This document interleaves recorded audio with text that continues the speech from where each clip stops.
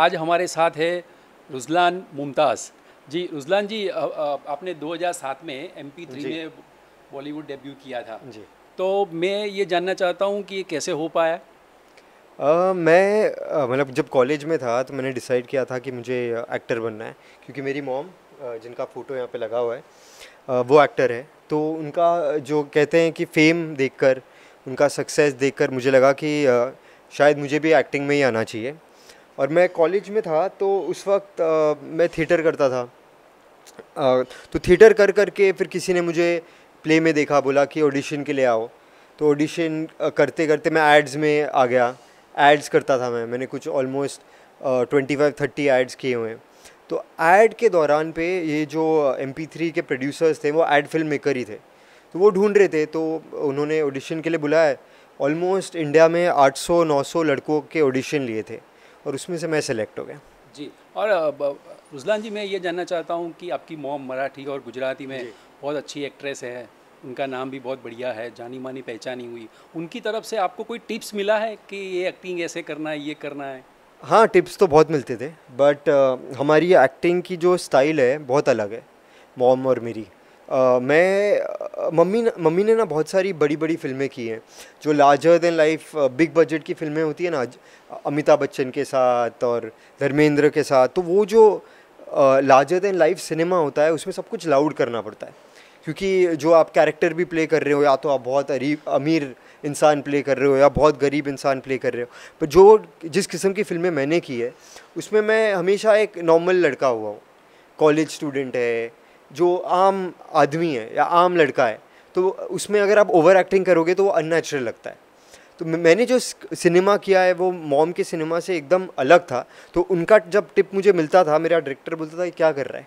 तो मैंने मम्मी को बोला कि आप मुझे मत समझाओ मेरे डायरेक्टर मुझे कुछ और बोलते तो मैं उस हिसाब से करूँगा। जी और अब, मैं मैं ये बात भी जानना चाहता हूँ कि आप विक्रम भट्ट की अब वेब सीरीज़ में भी काम कर रहे हैं।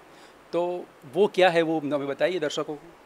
तो विक्रम भट्ट सबको पता है कि वो किस टाइप का काम करते हैं, या तो वो हॉरर करते हैं, या वो थ्रिलर करते हैं मर्डर मिस्ट्री और ऐसी ऐसी चीज़ें होती है जिनमें लव और रोमांस एक बहुत ही इंटरग्रल पार्ट होता है। तो अगर मर्डर भी होता है तो वो कहीं ना कहीं प्यार से कनेक्टेड होता है और भूत भी आता है तो वो कोई लवर ही होता है। किसी का लवर मर गया तो वापस रिवेंज लेने आया तो लव रोमांस है इसमें बट ये एक थ्रिलर है, जो मैं कर रहा हूँ। इस शो का नाम है अलाइव और ये मुझे लगता है कि शायद जुलाई में रिलीज़ होगा। अभी तो शूटिंग चल रही है तो जून तो पूरा शूटिंग में जाएगा। जुलाई ट्वेंटी फिफ्थ या ऐसा कुछ डेट है जब ये रिलीज़ होगा। तो ये रिवेंज ड्रामा है। ओके। okay. और रुजलान जी आपने टीवी भी बहुत किया है टीवी में बहुत सारी सीरियलें की है बॉलीवुड फ़िल्म भी की है। दोनों में क्या अंतर है क्या फ़र्क लग रहा है आपको? टीवी का एक बहुत मतलब जो मेरा एक्सपीरियंस रहा है कि टीवी में मज़ा आया मुझे। क्योंकि टीवी में ऐसा होता है कि अ, एक कैरेक्टर जो होता है ना उसका ग्राफ ज़्यादा लंबा होता है। मतलब वो जैसे मूवी में होता है कि हम एक अ, एक स्पैन दिखा सकते हैं जो मैंने फ़िल्में की हैं। तो एक हीरो होता है वो कॉलेज जाता है उसको वहाँ पर लड़की मिलती है और जब तक मूवी ख़त्म होती है उन दोनों का प्यार हो जाता है। राइट ये होता है हमारी मूवी में कि हीरो को हीरोइन मिल जाती है। पर टीवी शो ये होता है कि हीरो को हीरोइन मिलती है और उसके बाद क्या होता है? वो भी दिखाते हैं आपको। दर्शकों का प्यार कहाँ कहाँ ज़्यादा मिलता है आपको? फ़िल्मों में ऑब्वियसली मुझे प्यार मिला है क्योंकि मेरी जो पहली फ़िल्में थी एम थ्री और तेरे संग वो दोनों बहुत लोगों ने पसंद की। बट टेलीविज़न का प्यार अलग होता है क्योंकि टेलीविज़न सब देखते हैं। टेलीविज़न में ऐसा होता है कि छोटे बच्चे भी देखते हैं क्योंकि उनकी मम्मी देखती है और दादी भी देखती है। तो जब दादी बोलती है कि बेटा ये मुझे बहुत अच्छा लगता है तो बच्चों का प्यार भी आ जाता है।